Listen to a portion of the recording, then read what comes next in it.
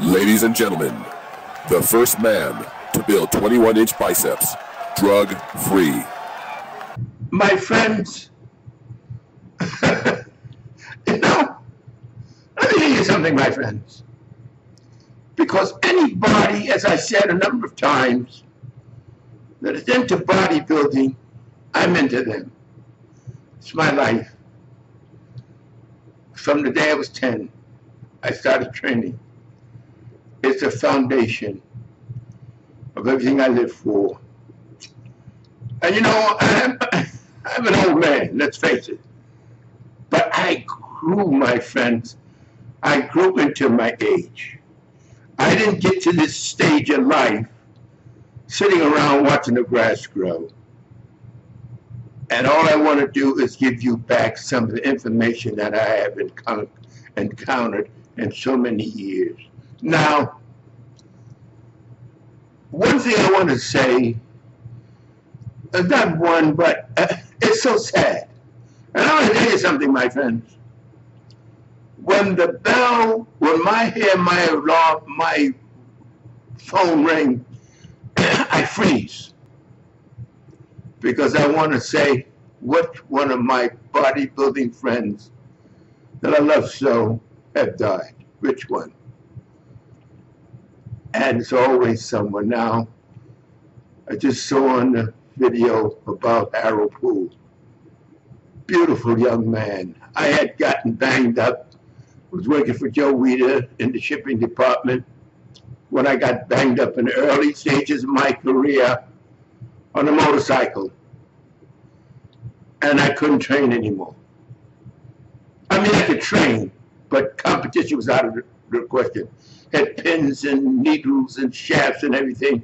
My whole ankle, the whole right arm, leg was practically destroyed.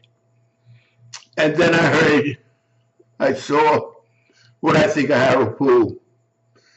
Beautiful, beautiful, young, daring man. And the only thing, he had a real bad stuttering problem. And that made him very, very aggressive.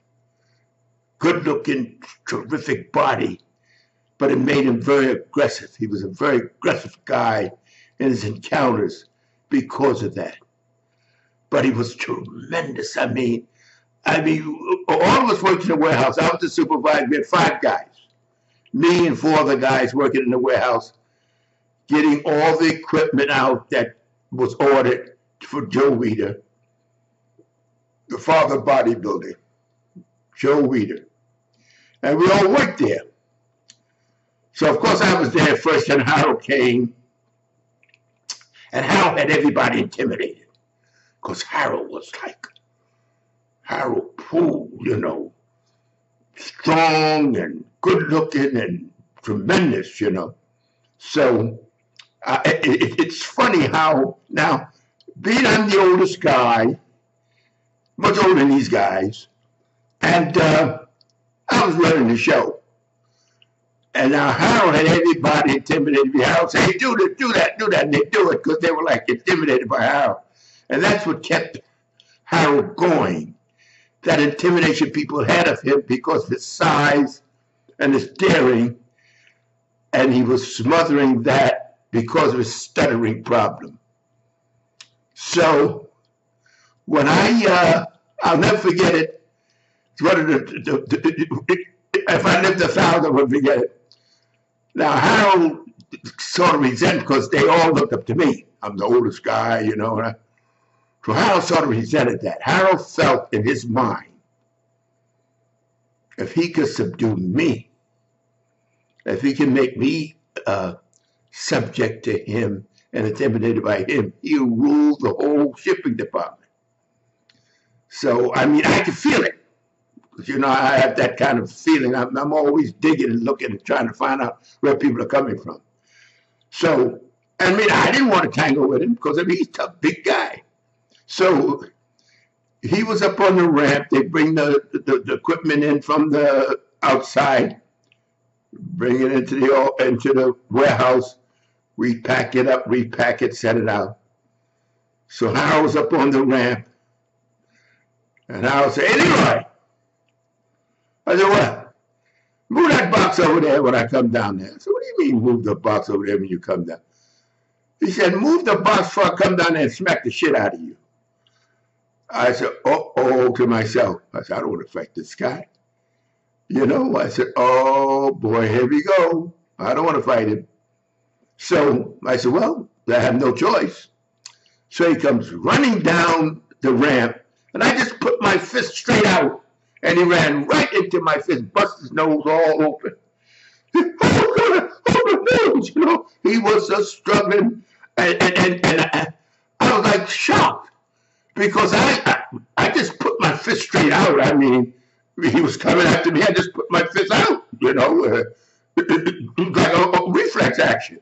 But he ran right into it, bust his nose all up, you know, and he was just, oh, hey, call emergency and all that. And I'm looking in astonishment. And uh, uh, I said to myself, I thought we leave because I was thinking of tussling in there with Harold Poole, which I didn't want to do. I mean, I'm not going to sit there and tell you, oh, I want to fight Harold. I don't want to fight him. But I knew I had to. I knew everybody else was intimidated. They wasn't about to resist Harold. You know, so Harold said, do something, did it. But I couldn't allow that. I mean, if he subject me, then she said I couldn't. I mean, we'd have to roll on that. So in any case, Harold was completely subdued. After he went to the hospital and they fixed him up, fixed his nose, it wasn't really broken, it was bent. And, you know, you know, bent out of shape, but it wasn't broken completely. And Harold came back, he was so humble to me. I don't think Harold realized what happened. He was so busy running down the ramp to intimidate me, he ran right to my fist. And so we got along great. He was um, just a wonderful guy. He trained well, had a heart of, of gold, but the stuttering got to him psychologically. When they did the wrestling came up and they all got excited about Harold, and they wanted to promote Harold, but Harold's ego would not allow him to succumb to his stuttering and he couldn't promote himself because wrestling was a, it's a scam. You know that is not a really uh, a contest; it's a scam. And the whole idea is promote yourself. And Harold had the body and everything, but he wouldn't do it, so he didn't do well in that. But I hadn't spoken to Harold in so many years. I was hurt to realize that he had died. And I understand he was just 71 years old and, and it, it, breaks my heart. I mean, uh, he was in the early steroid days, you know, before. Today it's ridiculous, what they have today. But in those days, he was an early steroid days, and he was very impressive. Very nice guy. The only thing held him back from really being a bigger guy than he is or was is because of his stuttering. Now, a lot of you young fellows they never even heard of these guys maybe looking and puzzled. Well, let me tell you, my friends, this is all the evolution of bodybuilding. This is all the growth of bodybuilding. And to now, to the point now, I must tell you, and I hate to say it, I dismiss these guys now. They're so freaky, so screwed up with so many drugs. I, I, I can't relate to it anymore. You see, it's because it's destructive. I'm going to tell you about that in a video. But I'm just telling you about Harold. Beautiful human being. I miss him so. And I haven't spoken to Harold maybe in six, seven, no, it was about four years ago I spoke to Harold last. But you know, when you have so many bodybuilding friends, when you talk to them, speak to them every day, you be on the phone all the time. But we have a fraternity we have a fraternity. It's never you, may not see your a bodybuilding friend in 20 years. When you see him, just like you just saw him yesterday.